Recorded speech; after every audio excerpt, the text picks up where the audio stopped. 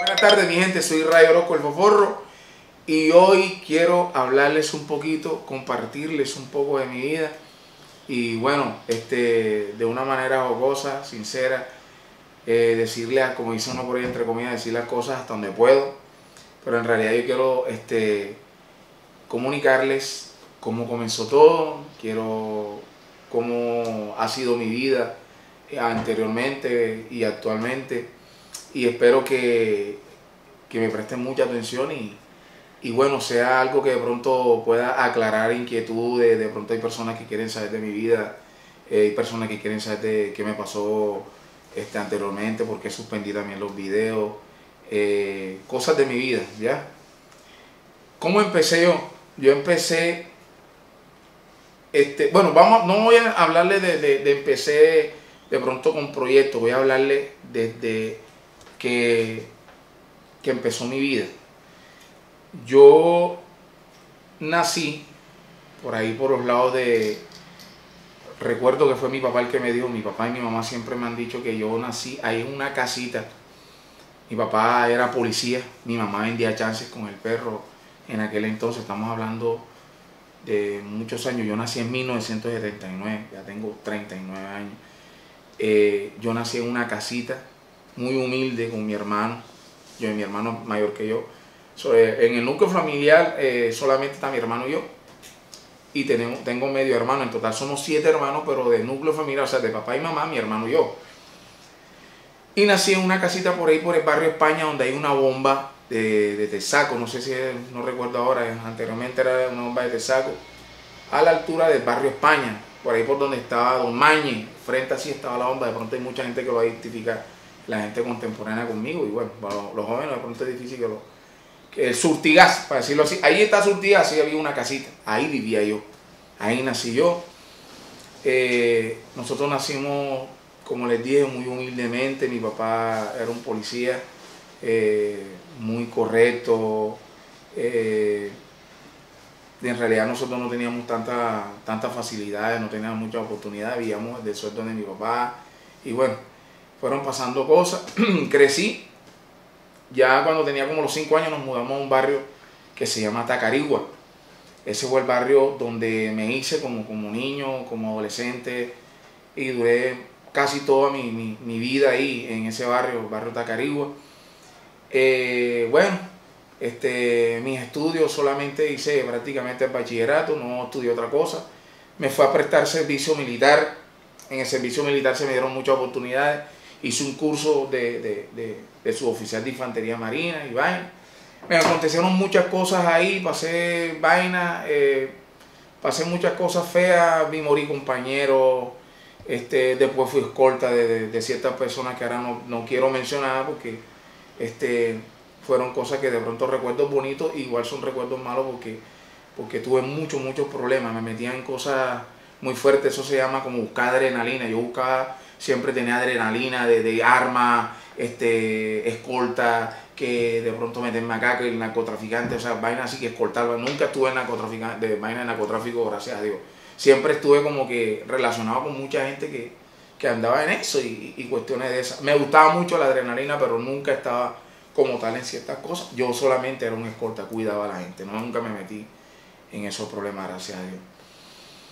Después tuve, pasó, pasaron los años ahí en Tacarigua, eh, cuando ya salí de la base y eso, yo soy cantante, yo comencé a trabajar con varias orquestas aquí, eh, como Los Inéditos, Los Hijos del Sol, este, orquestas muy reconocidas aquí en Cartagena y, y bueno, seguí esa trayectoria, ese legado me lo, me lo dio un tío, o sea, fue de, familia. Mi familia casi todos son músicos, también la, a la familia Pinto que le mando un saludo muy especial, que son familias de mi mamá. Y también tengo parte de, de, mi, de los Pintos y parte de acá de, mi, de la familia de mi papá. Ahí seguí la música, me fui para Bogotá, comencé a tocar con millones de orquestas, para decirlo así, eh, eh, en sentido figurado. Y entre las cuestiones de la música, eh, se fueron dando la cuestión del humor. El humor, como comienza en mí? Yo comencé mamando gallo, yo todavía no conocía a nadie que estuviera en eso. Pues, este, de repente un día de los viajes de Bogotá para acá, de Bogotá para acá, yo me encontré con Germán el adulto, yo estaba ese día en una orquesta que se llamaba La Big Bang, que es de Silvia. Eh, esa orquesta, este, Germán era el utilero, era el que llevaba el agua, hacía las cosas, llevaba los instrumentos. Luego, como dicen nosotros músicos acá, eh, la jerga de músicos era eh, el chévere. Total que bueno, Germán me conoció y además me dijo, yo quiero grabar contigo. ¿Por qué? Porque yo le mamaba mucho gallo Germán. Yo creo que esa, esa historia de pronto algunas personas la conocen, otras no, lo, estoy recalcando para que de pronto más o menos tengan este, la idea de eso. Germán, grabé el primer video con ella, con él, perdón, y segundo video y así, y no pasaba nada. Y bueno, yo tenía por ahí una persona que era mi pareja y, tuvimos muchos problemas por medio de esa, de esa, de esa cuestión. Y, y bueno, yo trataba de ser esquivo con ese labor que es el humor y yo pensé que eso era como, como algo que no iba a causarme nada, que me iba de pronto a traer problemas. Tanto así que la persona que estaba conmigo, mi pareja, me reservó el nombre, me dijo, esa, esa cuestión de humor es para gente desocupada. Esta, esa cuestión de humor es para gente que no tiene nada que hacer, etcétera, etcétera. Total que yo comencé a discutir con ella por, a raíz de eso y yo también le estaba creyendo. Yo decía, claro, yo, yo te creo porque imagínate, yo no he visto de pronto algún humorista que, haya surgido como tal. Siempre están ahí, quedan esa, en, uno que otro programa y ya quedan ahí. Y yo dije, ¿qué, qué plata puedo dar yo con humor si yo no soy humorista? Solamente soy el mamador de gallo. ¿Ya? Total, que Germán me presenta al Papi Guay, que es mi hermano actualmente. Eh, cuando él me presenta a Papi Guaylo, él me dice estas palabras, Guaylo me dice, este Ray, bueno, a mí no me gustan los papeles de gay, a mí no me gustan esos papeles de marica, así como, como habla él, no me gustan esos papeles de marica, porque esos papeles salen a osatura, pero tú tienes algo diferente, yo quiero probar contigo, y él me dice, si yo en un mes no te pego, ya, no te grabo más, ni, ni dejamos así, tal, pero yo voy a hacer todo lo posible para que te pegue, y comenzamos a grabar, total, así que mi novia me, nos dejamos por esa vaina porque estaba grabando video y ella me decía que eso no le gustaba, que todavía no le gusta.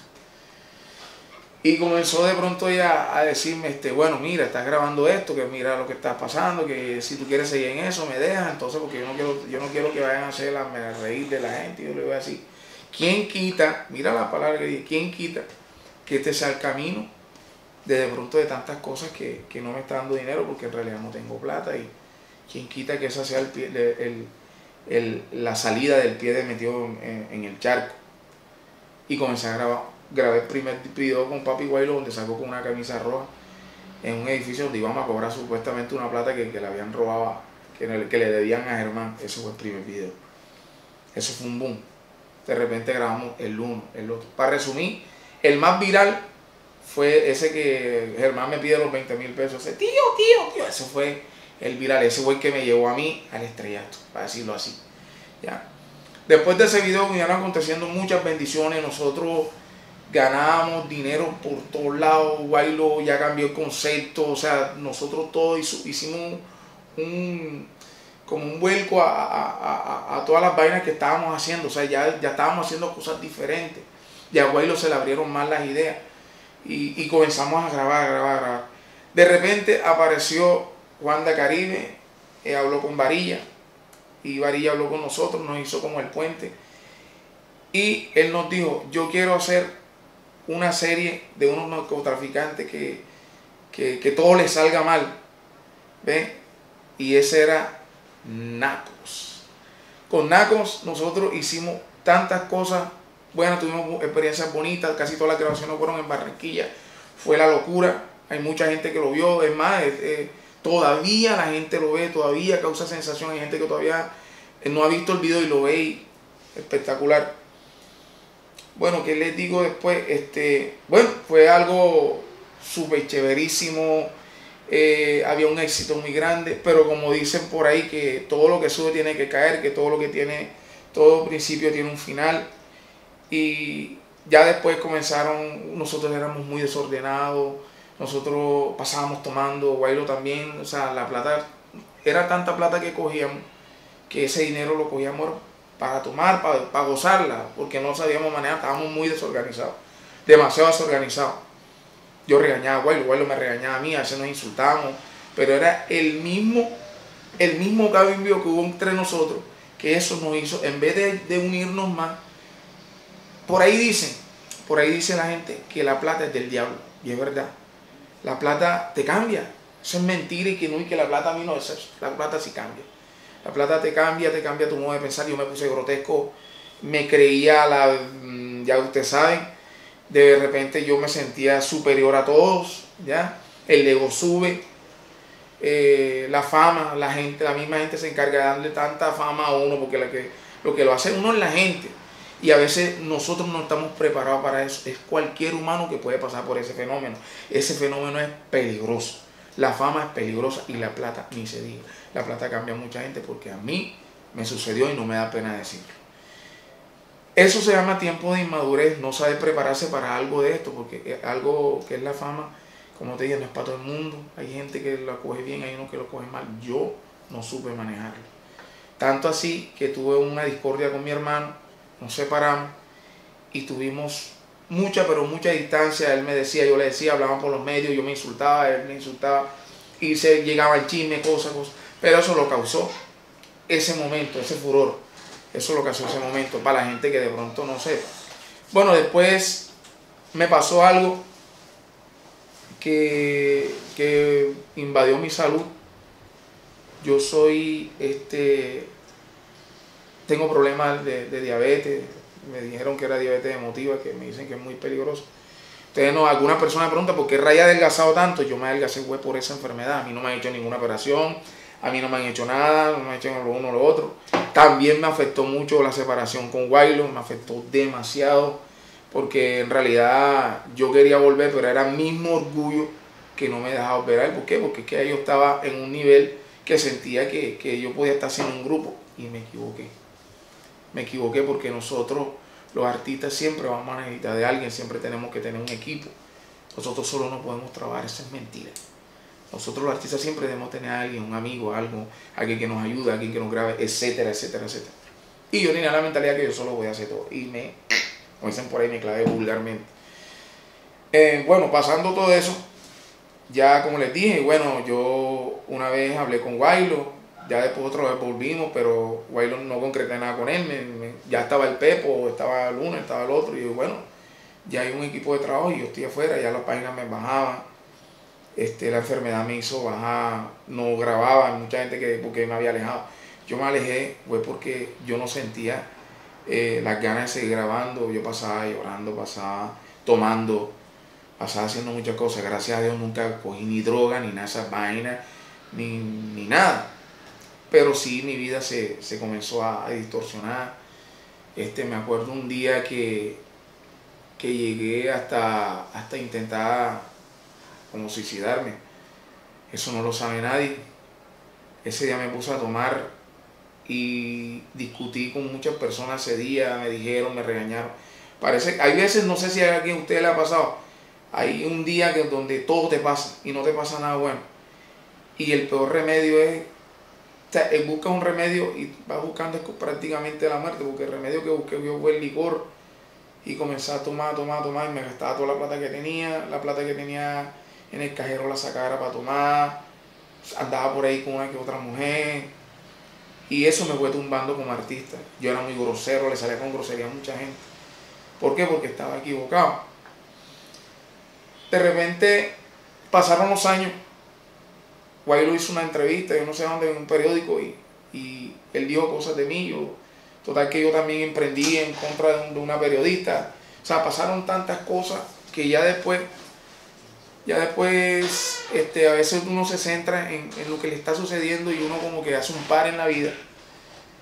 Y en realidad, bueno, voy a apartar un poquito de mi vida. Les voy a dar un consejo a los artistas a los artistas que están comenzando con humor, puede ser la música, porque yo también soy cantante. Este, la fama no es fácil. La fama no es fácil, un día ustedes tienen fama o de pronto es reconocimiento musical, le dice popularidad, la fama la tiene Dios. El famoso entre nosotros es Dios. Dios es el que nos tiene aquí. Y muchachos, este, busquen la manera de controlar ese demonio que es la fama y el dinero. Porque cuando están los dos, pasa lo que a mí me pasó. Y ahora estoy aquí hablándoles esa anécdota y voy a proseguir, pero quiero aclararles. Ojo, que la fama enferma a las personas y es verdad, las cambia. Bueno, y sigo. No sé que algunos están aburriendo, no sé qué están pensando, pero yo, yo voy a seguir con mi vaina. Pues sí, entonces, bueno, pasó eso. De repente, bueno, para no alargarle cuento, hablé con Guaylo por teléfono, bajé mi guardia, bajé mi orgullo. Decía, yo solo no valgo tres cueros, que yo necesito estar con mi equipo, necesito estar con mi familia, necesito estar con los pelados, yo necesito estar con los que estaban, con los que son, no andar por ahí mariqueando. Yo llamé a Guaylo, nos pusimos de acuerdo, hermano, necesito hablar contigo, me acuerdo que eso fue el año antes pasado. Me encuentro con Guaylo hoy, digamos, eso fue un, un 21, 21 de diciembre. 21 de diciembre del año pasado, estamos en el 2019, 2018, 2010, eso fue el 2017. Hacemos las, hago las pases con, con Guaylo, hablamos, estaba Pepo, estaba Varilla, estaban Germán, estaban todos los muchachos.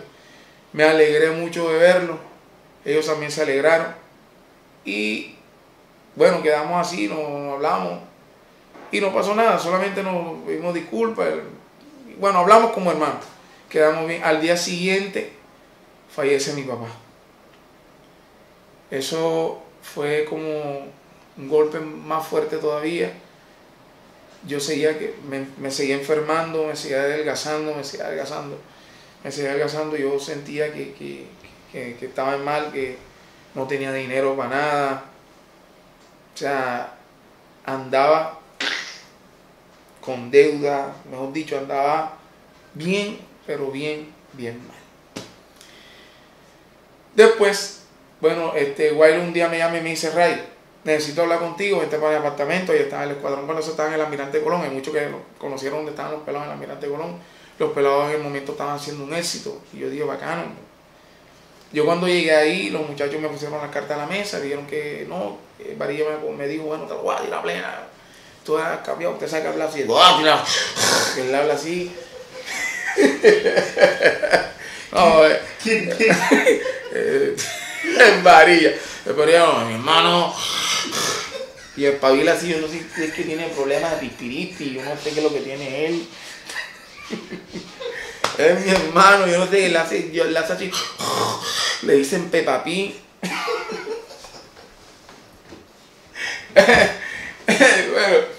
de esto se trata, de esto se trata de, burlarnos de nuestras cosas, de, no meternos, meternos con nadie, sino con las cosas de nosotros. Nosotros los humoristas somos amargadísimos, bastante, en cierto sentido, pero cuando queremos a alguien, ese lado lo apartamos. Somos a veces amargados con la gente atrevida.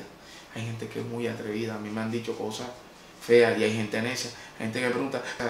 Y, y hay veces personas que no saben, no, no saben de pronto este, entrarle a uno, hey, ven acá, papel, ¿qué tú haces? ¿Qué está cierto que dicen que eres gay? O, eso, eso, eso incomoda, porque yo no sé, ajá, sino que ajá, así es. Mentira. Este, yo no soy gay, soy 100% heterosexual, me gusta mucho la mujer, a mí los hombres me da calor, me da resquiña, no me gusta este, nada de los hombres, ni mucho menos. El papel lo perfeccioné ese papel que está allá no soy yo. Sigo en el recuento de mi vida. ¿Por dónde iba, compañero? Este, por lo sucedido de tu padre. ok, ok, ya listo, bien. Eh, se nos había acabado la batería de la cámara y bueno, proseguimos. Este, bueno, fallece mi papá. Eso para mí fue el golpe, uno de los golpes más fuertes de toda mi vida. Creo que uno nunca está preparado para perder a, a su papá y esa cuestión a mí me afectó. Y bueno, otra vez me alejé de, las cámaras y, pasaron muchas cosas que ni para qué les cuento. Me, la, enfermedad me, me, atacó más fuerte. eso se llama, porque lo mío se llama este, que diabetes emotiva. Yo, los médicos lo que saben esas vainas. Y bueno, me afectó mucho, mucho, mucho. Pero para no alargar cuentos, mi sufrimiento, mis vainas, llevo en mi, en mi corazón a mi papá.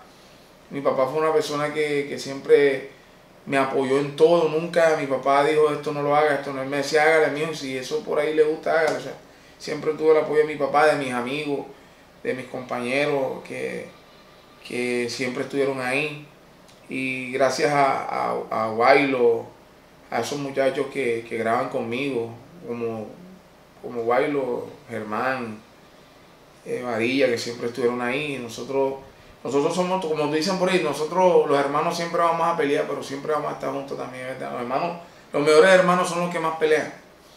Y bueno, ahí estoy con los pelados y, ven, van a aquí el cuento. Retomo, un día me llamó Varilla y Varilla me dice, te lo voy a tirar plena. Ese día Varilla, cuando me dice, eh, Ray, este, para que entres el escuadrón otra vez, eh, vamos a darte la oportunidad, yo le digo, bueno, hermano, este, yo llegué todo ya chandoso, para decirlo así, ya no era la misma persona, los pantalones me quedan anchos, no tenía ropa, plata ni para comprar ropa, ni nada, estaba mal, estaba mal, mal.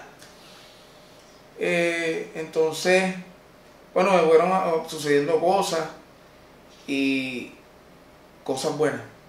Ya después no podía grabar con Guaylo a veces, a veces sí podía porque yo me ponía hacer taxi por ahí, poder rebuscarme, para poder tener para mis gastos, mis vainas. Y bueno, ya dio vuelco, perdón, a todas las cosas. Ahora entré nuevamente con Wailo.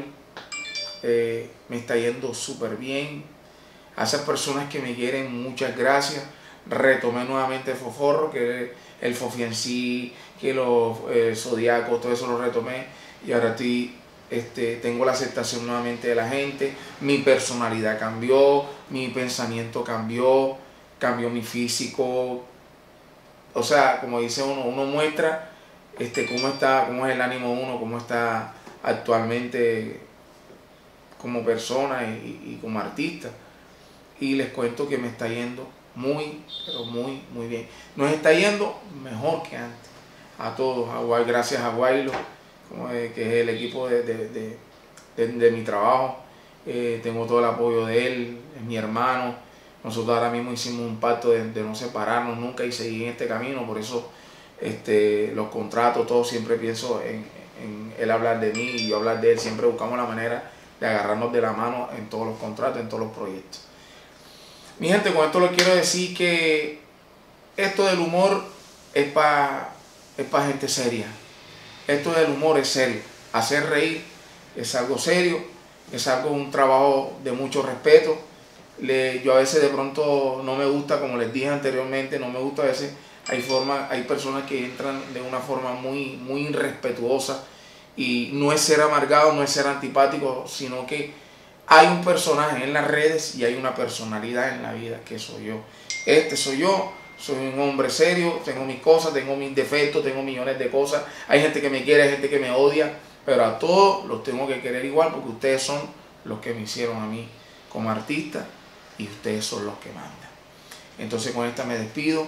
Recuerden apoyarnos a nosotros, Papi Guaylo, Ray Forro, El Varilla, etcétera, a todos los compañeros Apóyenlo porque nosotros hacemos esto de corazón, lo hacemos con sacrificio, lo hacemos con mucho cariño. Son horas grabando para poder llevarles a ustedes a su pantalla, a su celular, etcétera, una sonrisa. Que Dios me los bendiga y en realidad espero siempre el apoyo de ustedes. Y nada, y, ya me dio ganas de llorar y me siento desesperado. que Dios me lo bendiga, mi gente. Lo quiero de corazón. el bochorno. Papi, ven a darme pan. Y si no quiere, entonces vete. Papi, ven a darme pan, pan. Que yo te